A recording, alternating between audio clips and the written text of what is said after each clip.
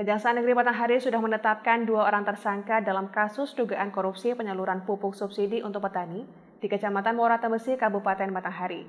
Saat ini kedua tersangka telah ditahan di lapas kelas 2B Muara Bulian.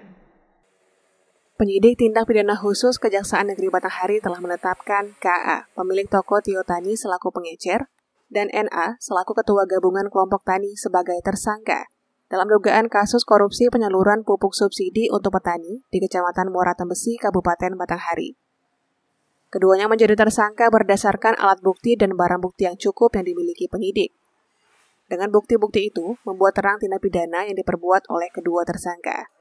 Yang bertentangan dengan pasal 2 ayat ke-1 junto pasal 18 ayat ke-1 huruf B Undang-Undang Nomor 31 Tahun 1999 tentang Pemberantasan Tindak Pidana Korupsi sebagaimana telah diubah dengan Undang-Undang Nomor 20 Tahun 2001 tentang perubahan atas Undang-Undang Nomor 31 Tahun 1999 tentang pemberantasan tindak pidana korupsi dan juga pasal 55 ayat ke-1 KUHP junto pasal 64 ayat ke-1 KUHP.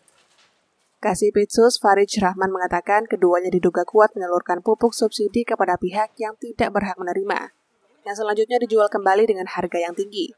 Akibat perbuatan tersangka, negara mengalami kerugian mencapai 1,4 miliar rupiah.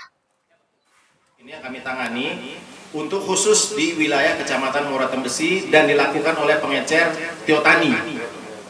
Jadi pengecer Tiotani ini wilayah kerjanya atau dia bisa menyalurkan pupuk e, berdasarkan e, penunjukan dari distributor itu wilayah kerjanya di Muratembesi. Jadi baru yang paling uh, kita temukan bukti yang paling terang di Muara Tembesi nanti, kemudian akan yang di wilayah-wilayah selanjutnya. Yang dijual ini bermacam-macam, jadi ada tiga jenis macam pupuk, Korea, NPK, dan Ponska. Masing-masing itu ada harga eceran tertinggi yang sudah ditetapkan oleh pemerintah. Misalnya tiap tahun itu juga berbeda-beda, 2020, 2021, 2022. Jadi perkara kita tanggal ini tiga tahun ya, 2020, 2021, 2022. Nah masing-masing ini untuk contohnya di tahun 2020 untuk pupuk Korea persaknya harga eceran tertinggi yang dijual adalah 112.500 rupiah. Tetapi dijual oleh para tersangka ini bisa sampai dengan harga 180.000 per sak. Jadi itulah keuntungan yang mereka dapatkan. Kemudian mereka menjualnya juga di luar orang-orang yang namanya tidak berhak, yang itu yang ada di dalam rencana definitif kebutuhan kelompok. Jadi eh, mengapa sampai dengan saat ini pupuk masih langka di Kabupaten Batanghari karena dinikmati oleh orang yang tidak berhak.